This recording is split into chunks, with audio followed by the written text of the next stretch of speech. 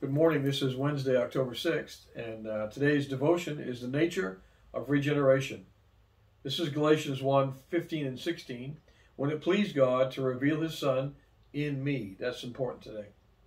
If Jesus Christ is going to regenerate me, what is the problem he faces?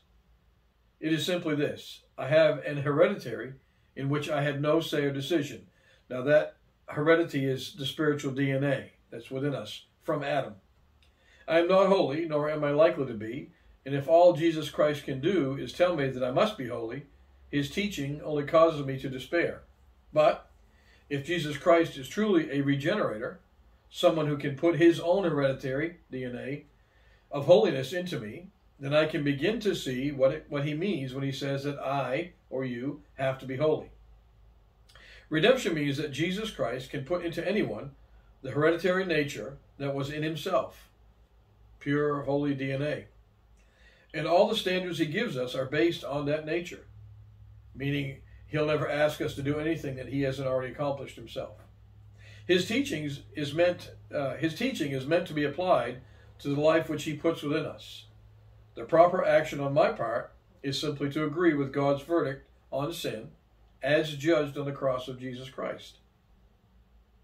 The New Testament teaching about regeneration is that when a person is hit by his own sense of need, that moment in which we realize that we need his salvation, God will put the Holy Spirit into his spirit, and his personal spirit will be energized by the Spirit of the Son of God.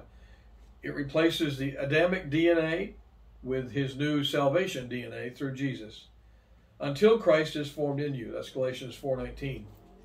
The moral miracle of redemption is that God can put a new nature into me through which I can live totally a new life. When I finally reach the edge of my need and know my own limitations, in other words, I can't save myself, then Jesus says, Blessed are you. That's Matthew 5, the Beatitudes. But I must get to that point. I must get to that point. God cannot put me into it. The responsible moral person that I am, the nature that was in Jesus Christ, He can't put that into me unless I am aware of the need for salvation, for that moment of redemption. Just as the nature of sin entered into the human race through one man, the Holy Spirit entered into the human race through another man, Jesus Christ. That's Romans 5. And redemption means that I can be delivered from the heredity of sin, and that through Jesus Christ I can receive a pure and spotless heredity, DNA, namely the Holy Spirit. So the challenge I have for us today is what type of spiritual DNA do we have in us? Is it still the Adamic DNA, the fallen man, or is it redeemed Holy Spirit DNA? I, am praying that you've all you listening have been saved, but if you haven't today, you can pray and ask the Lord to change your spiritual DNA through forgiveness. Let's pray. Father, I thank you for uh, the way that you uh, shape things in our lives and the way that Oswald writes these things that we can understand. We are all born with the Adamic spiritual DNA. But Lord, through the act of the cross, through forgiveness and the shed blood of Jesus Christ, we can have that DNA replaced and, and have His Holy Spirit infilling, which gives us His DNA.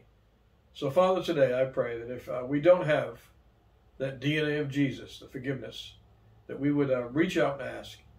Lord, we pray together that uh, if there's somebody we know that needs it, that they too would see the need and cry out for it. We love you, Father, and we thank you for challenging us in these things. We pray this in Christ's name. Amen. God bless. I'll see you tomorrow.